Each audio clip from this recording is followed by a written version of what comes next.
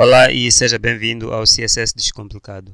Hoje eu vou te ensinar o truque por trás dos inputs do tipo file estilizados. Nós sabemos que nativamente o CSS não permite estilizar o input file de modo a ficar do jeito que nós queremos. Mas existe um truque para ultrapassar essa barreira e é isso que eu vou te ensinar na aula de hoje.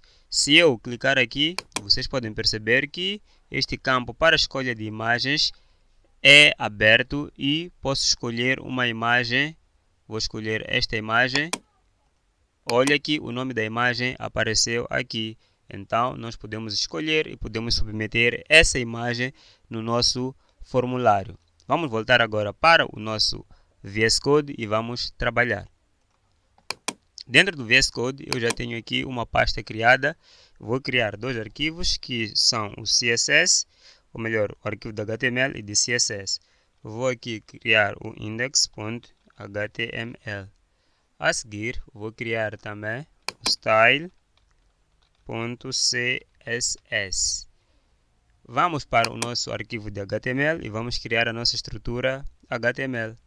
Aqui vou renomear para styled input file file. Muito bem, a seguir vou conectar este arquivo ao nosso arquivo de estilos, que é o CSS.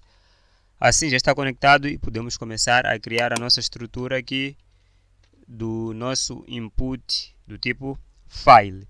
Vou criar um container para guardar aquele nosso input container. Dentro do nosso container vou criar o próprio input que vai ser do tipo file e vou criar um label. Vou escrever aqui, por enquanto, vou colocar um cardinal e agora vou colocar selecionar selecionar imagem. Imagem, muito bem. Vou abrir aqui o nosso arquivo com Live Server para podermos visualizar o nosso trabalho.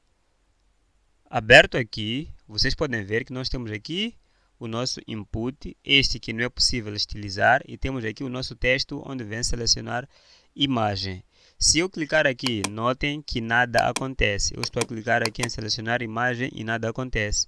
Mas se eu clicar aqui, reparem que abriu esse campo para escolhermos uma imagem. Se eu escolho a imagem, aparece aqui o nome da imagem. Muito certo. Agora o que, nós vamos fazer? Vamos ligar este texto aqui a este input para quando nós clicarmos no texto apenas ele criar o mesmo efeito. Vamos voltar ao nosso VS Code e o truque acontece da seguinte forma. Vamos dar um ID aqui, vou chamar de file e o mesmo nome file é o, é o nome que devemos colocar aqui no for. Vou colocar file e neste momento esses dois estão conectados. Se nós voltarmos,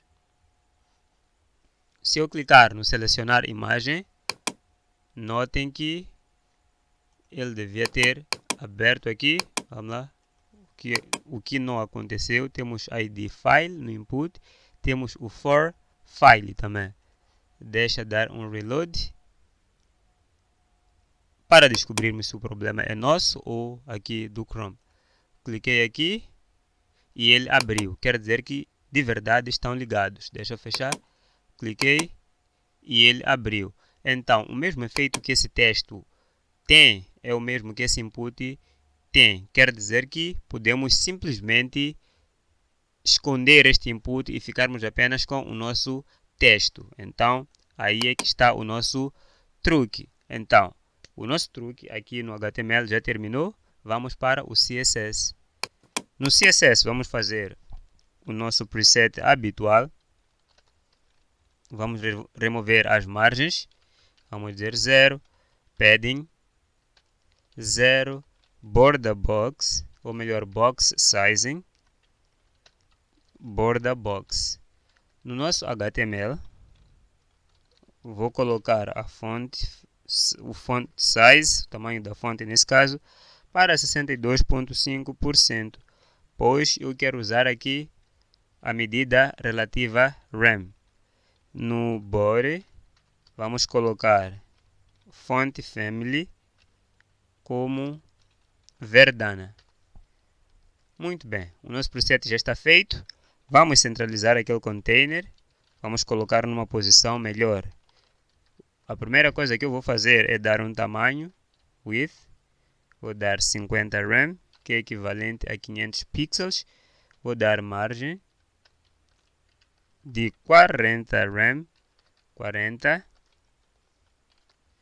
RAM Auto.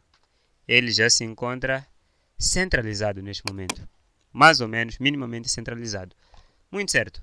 Agora vamos esconder aqui este elemento e vamos ficar apenas com selecionar imagem. É esse selecionar imagem que nós vamos trabalhar. Para escondermos ali o nosso input, nós vamos dizer input. Vamos abrir e fechar parênteses retos. Vamos dizer type, que significa tipo queremos dizer que tipo de input nós queremos selecionar. É o file. E vamos dizer display none. Simplesmente assim. Se nós voltarmos, já percebemos que não temos o nosso input file, mas se clicarmos nesse texto, nós continuamos a abrir aqui esta página para selecionar imagem.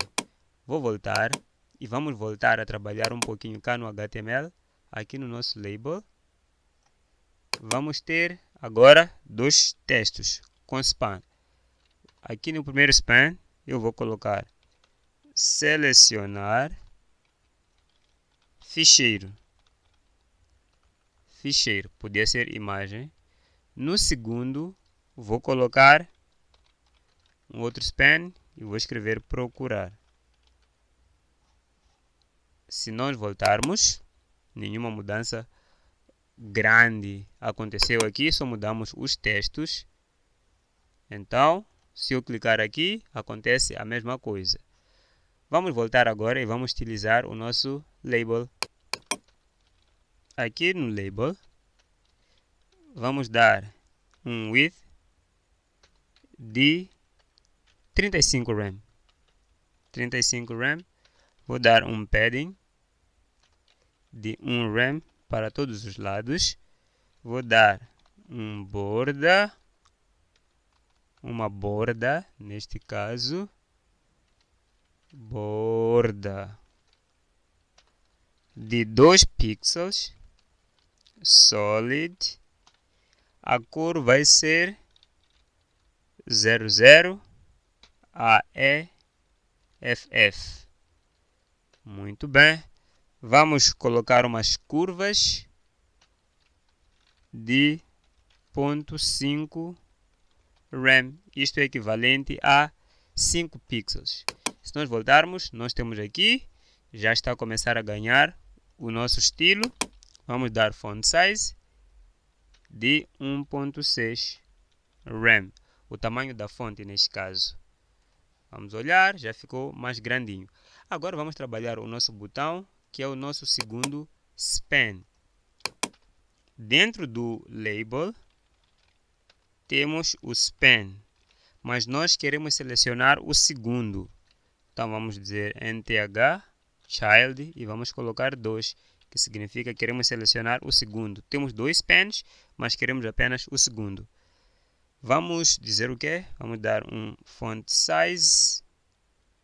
Não precisamos de font size, mas precisamos de color. Vamos dar um color que vai ser branco. FFF. O background,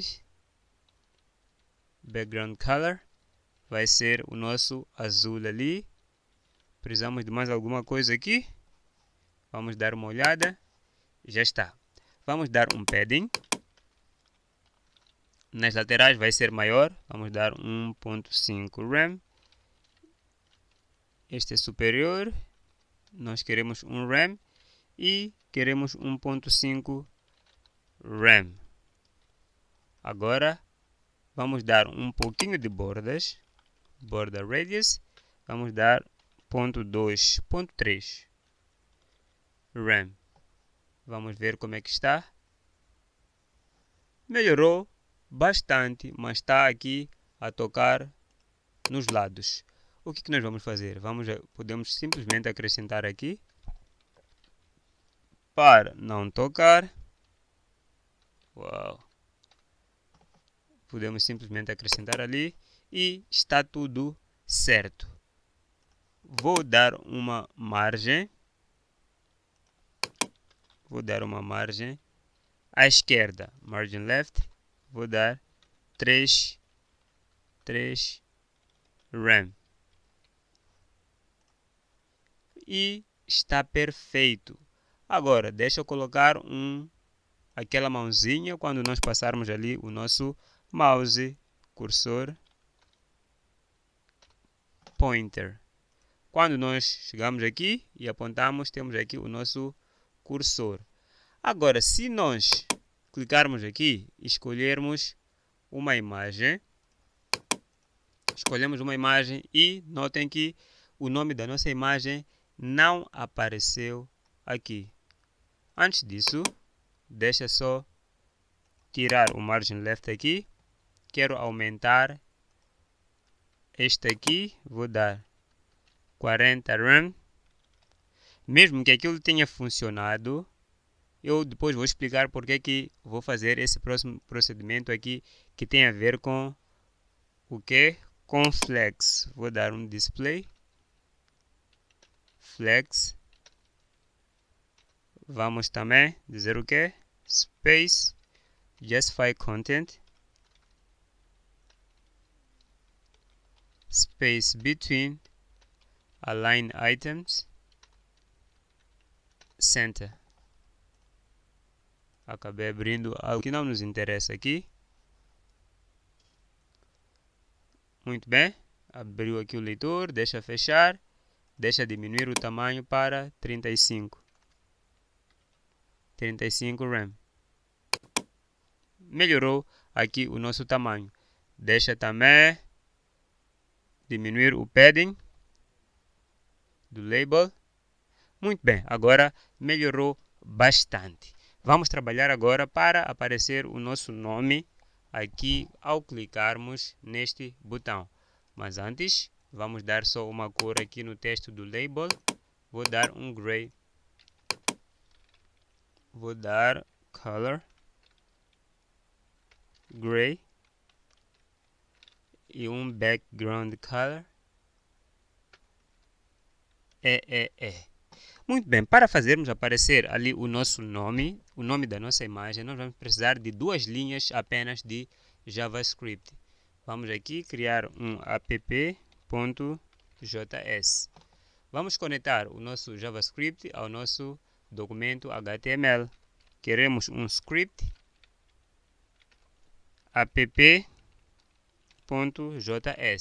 e vamos colocar essa propriedade differ que é para permitir o JavaScript ler depois que a nossa página tiver sido lida. Se removermos esse differ aqui, os elementos, o JavaScript vai ser lido antes mesmo dos nossos elementos serem criados dentro da nossa página. Isso vai criar-nos problemas. Agora, vamos selecionar este elemento file pelo ID. Vamos dizer document document.querySelector Query Selector. Vamos selecionar pelo ID e nós ao usarmos esse Query Selector podemos usar os seletores exatamente como usamos lá no nosso CSS. Então o ID vai ser File e vamos dizer o que? Vamos adicionar um escutador de eventos. Vamos dizer quando ele mudar, o evento vai ser Change. Quando o nosso input mudar, vamos criar uma função function, ele vai rodar esta função aqui quando mudar alguma coisa naquele input file. O que, que nós queremos que ele aconteça? Ele faça. Nós queremos, vamos selecionar, vamos dizer document, dot selector. Qual é o elemento que nós queremos que mude? É exatamente este aqui, este primeiro aqui, onde vem selecionar ficheiro. Então podemos dar uma classe um ID. Vamos dar uma classe aqui. Vou chamar de text. Text. Então, o que vai fazer? Quando mudar, vai pegar neste elemento text, selecionamos aqui, tal como fazemos no CSS, com um pontinho. vai pegar e vai mudar o seu texto. Text content vai ser igual ao que?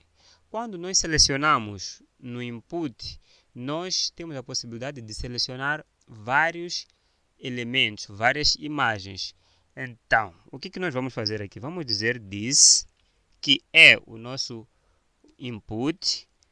Vamos dizer files, porque ele tem a capacidade de pegar muitos, muitas imagens. E vamos selecionar apenas a primeira. Vamos dizer, queremos apenas a primeira. Selecionando ali com zero, porque ele é um array. E vamos dizer name. Vamos pegar na propriedade name. O que, que nós estamos a dizer? Estamos a dizer que o input, quando ele mudar, aqui é change, eu havia falhado. Quando ele mudar, vai chamar esta função. O que, que faz esta função anônima aqui? Ela pega neste texto, neste texto aqui, e atribui o texto da primeira imagem que nós vamos pegar lá no nosso input. Ele vai pegar o nome da primeira imagem que vamos pegar lá no nosso input e vai mudar o texto, esse texto aqui, de selecionar ficheiros e vai colocar aquela, aquele nome da imagem. Vamos voltar e vamos testar vou clicar aqui, vou pegar uma imagem, pode ser esta, e vou clicar. Alguma coisa aconteceu ou não aconteceu, vamos inspecionar para vermos o que pode ter acontecido para não ter funcionado. Vamos aqui no nosso console, temos um erro de sintaxe, onde é que será? Vamos para, não olhei a linha, na linha 3. Vamos para a linha 3, que linha 3 é essa? Não temos nenhuma linha 3 aqui. Muito bem, este ponto aqui. Isto é ponto e vírgula. Eu acredito que você já tinha visto ali o erro vindo. Agora não temos nenhum erro por enquanto. Vamos clicar de novo. Vamos pegar na imagem. Vamos selecionar.